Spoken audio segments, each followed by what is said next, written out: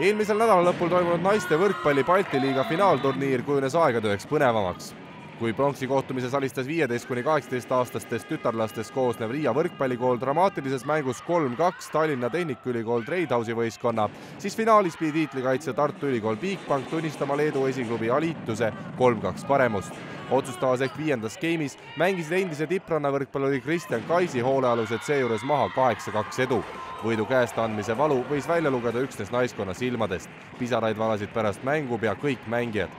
see näitas äh, umbes täpselt nii, kui valus see täpselt oligi, et see noh, teine koht ju alati kaotatakse, et see ei ole meeldiv tunne, eriti kahe punktiga kaotada viiendas skeemis ja ütleme noh, oma vigade tõttu, eks igaüks tunneb ennast natuke süüdi siin no ma arvan, et ikkagi päris valus, et kõik eeldused olid nagu olemas, et kodusaal ja kodupublik ja et kogu see toetus oli tegelikult väga hea meile, aga ei suutnud ära realiseerida.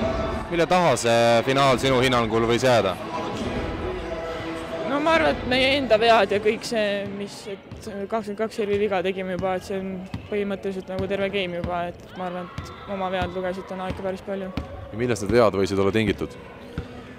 ma ei oskagi öelda, ma arvan, et äh, äkki läksime liiga hullult juba panema, et äh, ta oleks pidanud nagu rohkem kontrolli all hoidma äkki olgugi, et Tartu naiskond läbis kahe hooaja vahel sarnaselt mitmetele konkurentidele märgatava noorenduskuuri, suisa viis Emajõe linna võistkonna liiget jätsid tänavuse hooaja emaks saamise tõttu vahele, siis eelmise hooaja edu ja hiljutine karikavõit panid naiste õlgadele tuntava võidukoorma.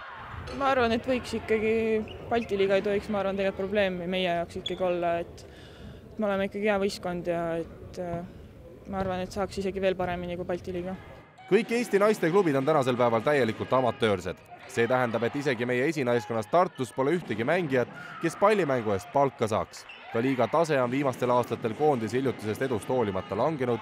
viieteistkümne välismaal mängiva eestlanna kõrval on koduliigasse jäänud vaid noored ja harrastajad jah, siin on kasvulava selles mõttes on küll, aga ütleme, et mida varem välismaale, seda parem, ma arvan, igale mängijale, et et siin Eestis noh, tore amatöörliiga, aga noh, selles mõttes, et äh, ütleme, et päris mängijad on ikkagi välismaal kaheksateistkümneaastane Jades Šadeiko tegutses finaalturniiril endale pigem harjumatul diagonaalründaja positsioonil, kuid õnnestus rünnakute lahendamisel isegi paremini kui nurgaründaja kohal mängides.